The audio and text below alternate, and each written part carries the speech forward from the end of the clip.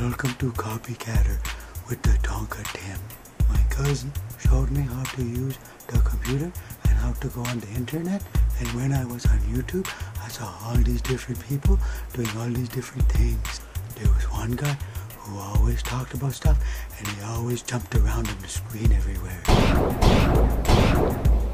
And my cousin said we could try that too, but I think that's kind of weird, but we're gonna try it.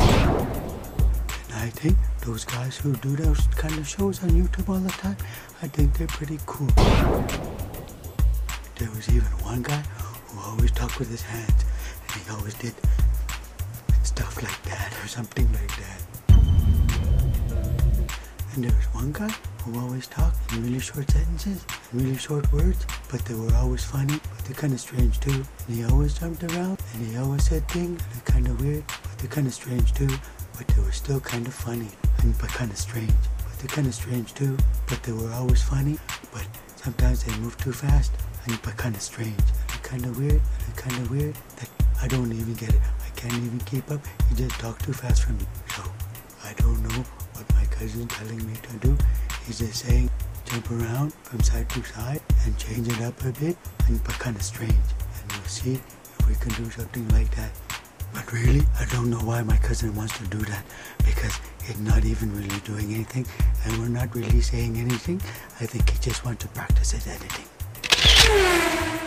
But on YouTube, I also saw this really pretty girl. She's really pretty, but I can't copy her stuff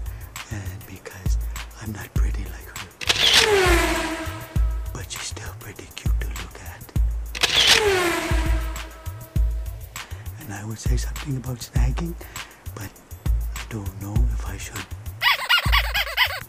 And there's also this other guy with his family. He talks really fast and he's got really cute kids.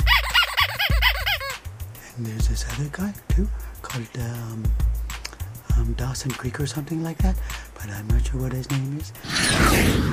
But he's really funny too, and he does a lot of sketches. But my cousin, that he can do some sketches and that he can do voices. I don't know what to say. And he can do other stuff too, but I don't know what he's going to do. What a stupid promo.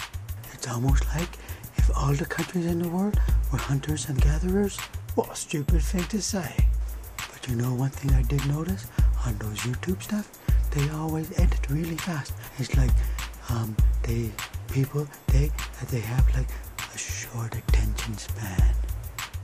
What? You think I'm pathologically stupid?